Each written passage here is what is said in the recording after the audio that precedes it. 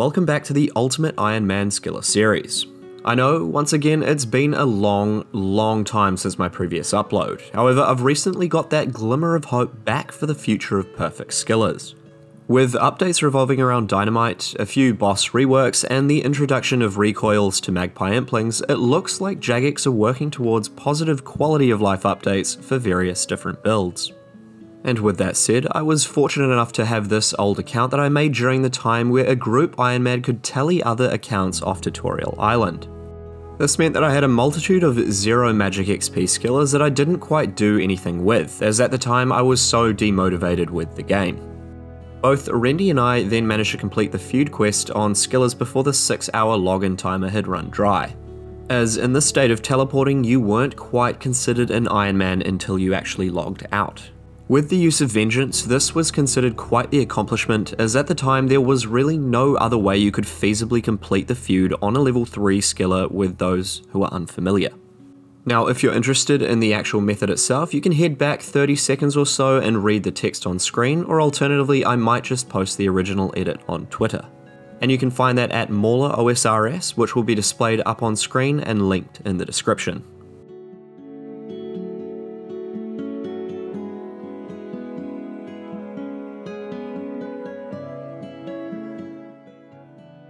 Now, with all that babbling said and done, this is what we're actually working with. This is He Who Shall Not Be Named, the new UIM skiller. The name will be revealed in the future. And to be honest with you guys, the reason why I can't reveal the name is because I actually wanted it to get removed so I could get a space before my name. So I did end up calling it something pretty vulgar and it didn't end up getting removed. So we were stuck with a really bad name for a decent amount of time. So I'm going to be starting this account off in a pretty unorthodox manner. Firstly, I'll just grab some quick cash from steel plate legs and then swiftly move on to the specifics that can ruin a perfect skiller right away. With the money from the plate leg run, we'll quickly pick up our Chronicle with a decent amount of charges and make sure to unlock all the Premiere codes along the way. Would be rude not to, right? A staple of any new skiller to say the least, completing the Varrock Museum mini quest. Now, this will actually come more in handy for us in this particular run, as we're in fact focusing on Slayer before we have anything in the looting bag. We definitely have a few little tricks up our sleeve for this one, but I would say it is best to get Slayer done as soon as possible before you're tied down with specific items. So I had planned on knocking out a little bit of Hunter towards 65 for the new recoil update, and ended up finishing 10 agility while waiting for the minigame teleport timer to tick down so that we could carry on with more pressing matters. Said pressing matter is the Observatory quest, which is actually one of the only quests that you can still technically ruin your skiller as of 2023. And this is due to the randomized star sign assignment from the creation of your account, as some of the rewards unfortunately grant combat XP. Now with all of these little bits out of the way, it's time to finally start grinding Slayer.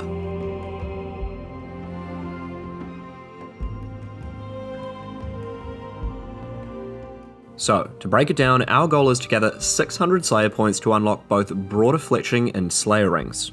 Krystilia over here is the only Slayer Master that'll grant us a task that has the ability to yield Slayer points at level 3.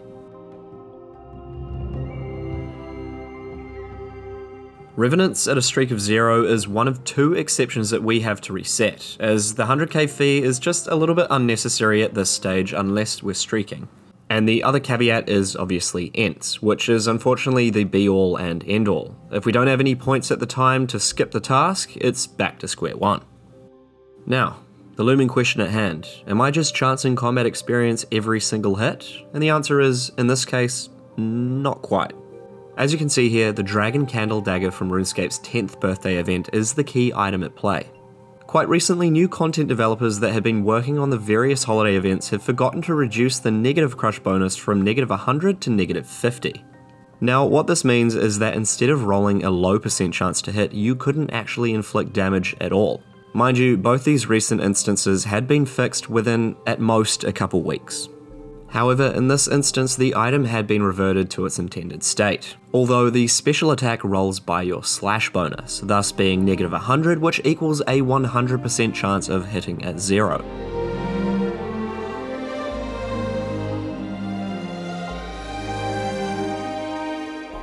I must say, people get up to some pretty strange things in this game. Now then, another little tidbit before we move on to the next task. Back in 2014, the ogre weapons from Diango were also items that couldn't inflict damage, and this lasted for around two years before its patch. So, the reason we're getting this done so quickly into the build is because one, we got nothing to lose, and two, at this stage I'd say the dagger spec is widely known within the Skiller community, and I'm sure Jagex are also aware of this too.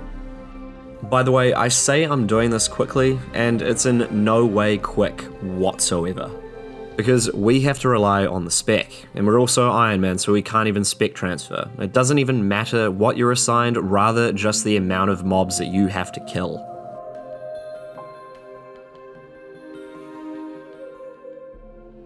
At this stage, after pretty much getting back to back rev tasks, I needed a break from all that garbage and decided it would be a reasonable idea to work towards the Ardy cloak, or at least part of the requirements.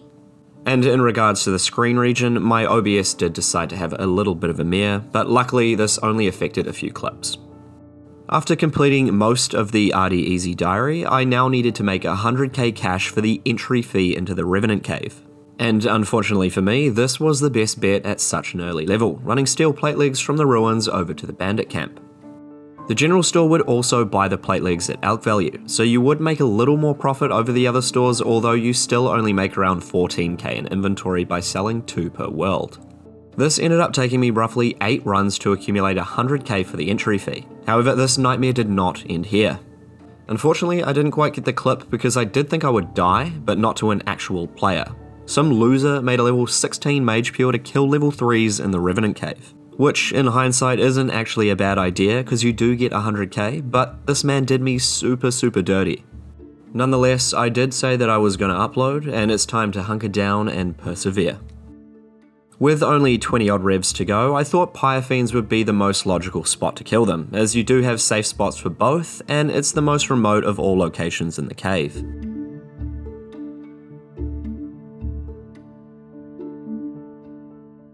Moving on to the third task of the streak, which will be Ice Giants. This task is actually one of my favourites as we can kill them in the Wilderness Slayer Cave, which happens to be in multi. This means that we can both kill the NPCs in tandem and also have a little more downtime while waiting for spec. I tend to just chuck on a movie or series while doing so.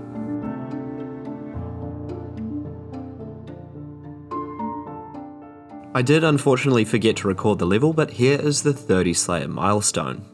Remember, experience here is halved as we're just receiving the kill credit for the final hit dealt to the NPC. Also, if I forget to explain anything in the video that's pressing any of you, just ask in the comments section below. I make sure to get back to everyone so it shouldn't be a problem at all. Skipping over to our fifth task, which fortunately for us happens to be rogues. Both this task and the next are certainly the most important because the fifth task will set the streak whereas the sixth will solidify enough points to skip an Ent task if it comes down to that. Rogues in particular have been one of the more relaxed and secluded tasks, as we really don't have to worry about any PKers and we can pretty much AFK. Next up we have Hill Giants, which were pretty straightforward to say the least, we only had one spawn, so it was pretty excruciating. With that being said, it was our sixth task, which meant it did secure us enough points to feel pretty comfortable to say the least. Now, Ice Warriors were a bit of a tricky one to get to, although the task itself isn't actually bad at all. As you can see, it's super far out of the way, so we weren't at risk of any PKs, although the wander distance of some of the warriors did tend to be a bit of a mare. I did end up dying a couple of times, but luckily for us, because we decided to start Slayer right away, we risk absolutely nothing. This also meant we could take advantage of death spawning from Deep Wilderness, which greatly helps us with the ease of transport. As most of you who watch my videos would already know, transport on these particular builds is slim to none, especially at this stage of the account.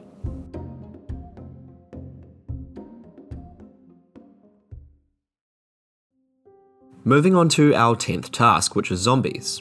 This milestone does also grant an extra 125 point bonus, which will greatly help towards our final goal of 600. This task was also pretty straightforward to say the least, although I did end up coming across a selection of interesting builds due to the recent update to all wilderness bosses and locations. With that being said, it is actually kinda nice seeing the wilderness a little more active than normal, because everywhere else is like a complete ghost town.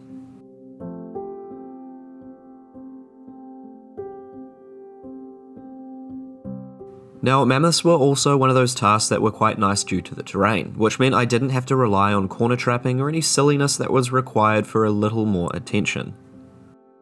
During the lengthy grind of Slayer, I also shifted my focus briefly towards the same kind of build but on a hardcore Iron Man. This was also another one of the accounts that we completed the feud quest on months ago, so I kind of felt obligated at the time to actually do something with it. In retrospect, though it is a nice account and it has had a pretty fruitful beginning, the type of playstyle with a bank and everything just wasn't quite doing it for me. With that said, I thought it'd be best to throw a little brief showcase of the build in this episode as I did actually record some clips for the particular account. However, for now, I think we'll call it a day and set that one to the wayside until the distant future calls. Nonetheless, shifting back over to the UIM where I'll now start skipping through some of the tasks we've already seen. One of my biggest pet peeves is that I want these videos to be both enjoyable yet concise, though if you guys do want anything more in depth you can let me know in the comments section down below. At this stage I felt like I needed a little break from Slayer, so I decided it was the right time to knock out Biohazard to finish off the Ardy Cloak. Not to mention, I also had well over 30 Slayer, so I could actually use the achievement lamp on something reasonably beneficial. Now this is what I call a dialogue manipulation, where you turn the aggression of a quest NPC to your original account right as the mourner is falling to the ground.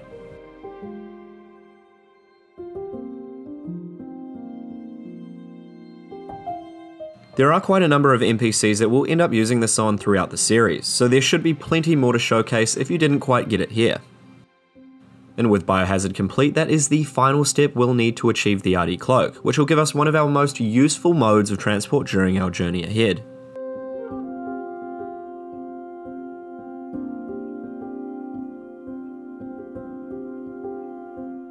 Moving back to Slayer for the second half of the marathon with 90 Fire Giants. I'd have to say this was probably the worst task to date to say the least. With the amount of PKs here, I think I was attacked on the main at least 10 times. And even still, all I would do was just run into the fire giants and then they couldn't even kill me. So it was just more of a waste of my time as opposed to them actually getting the kill. Oh, and I nearly forgot to mention that I can finally stop blurring out my name, as we've settled with something that I think suits both myself and the build very well.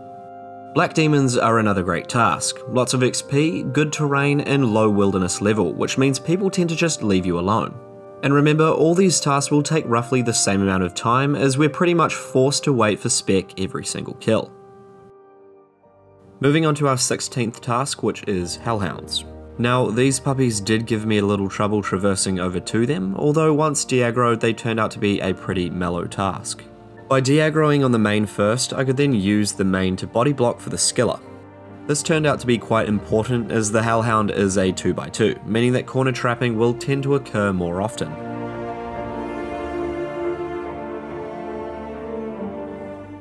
Receiving Ents at any stage is actually quite problematic for us.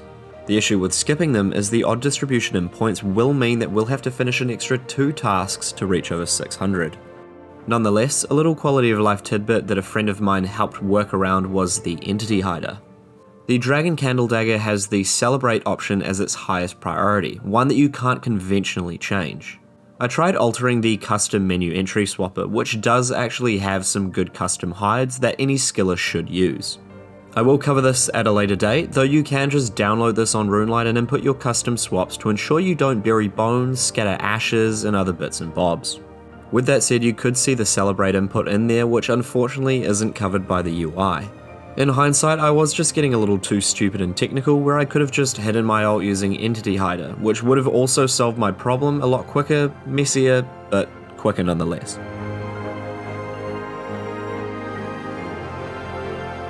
For our final task of the build, we have the tried and true Mammoths. Definitely one of the staple tasks for us being nice and easy and also very close to the Enclave. Now, in retrospect on the decision to start Slayer early, I'd say yes, it's certainly unorthodox, but if I were to do this again, I'd just wait and hope that Jagex release a proper fun weapon that has negative 100 crush bonus. I do believe that at some stage it was on the cards for Jagex to look into as it is kind of just a standard quality of life update for skillers, which are now also recognised on the high scores. With all that said, this grind had taken me over 3 days of playtime over the course of a few weeks. However, we're now just that one step closer to the perfect Ultimate Iron Man skiller. In the following episodes to come, I have some real interesting metas I'm excited to showcase on the channel, certainly things that have never been seen before. Not only that, but I also have the luxury to contrast the clips with my previous videos pertaining to old methods that just aren't necessary anymore. In one of these particular instances, I'm actually going to need the help from you guys. If you know of anyone or you happen to be extremely proficient in PVM, I'll need you to message me in game for further details. My private will always be on, and I'm more than happy to chat with anyone. For those of you who made it this far into the video, I really hope you guys thoroughly enjoyed this as much as I did. It really is great to be back. And if you're not already subscribed, a simple click of the red button is very much appreciated, and it also keeps me motivated to carry on uploading for all of you. Other than that, until next time, have a lovely day.